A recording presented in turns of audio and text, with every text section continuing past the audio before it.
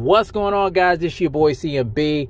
Got some breaking news for you guys, some terrific news. Uh, it's being reported by ESPN's Mike Coppinger that the showdown, the welterweight showdown between Errol the Truth Spence Jr. and Terence Bud Crawford all the terms have been agreed to by both parties. So we're probably going to be getting that fight uh, this November the 19th, guys. Uh, this is awesome news. I know we've been waiting on this. I wasn't quite sure if we were going to get this fight this year. I was kind of losing hope, but this here just re-energizes me uh, because this is the fight to make.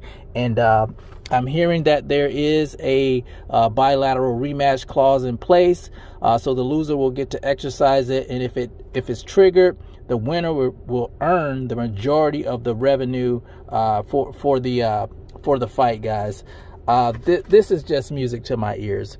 Uh, finally, we're gonna get the fight that we deserve, the fight that we've been looking for for some years now. You know, they've been talking about these two for years, and it just might come to fruition. So, uh, like I said, it's being reported by ESPN.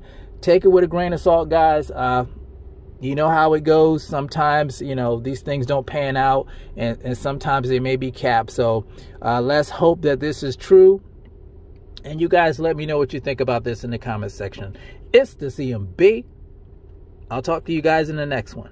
And I'm out. Peace.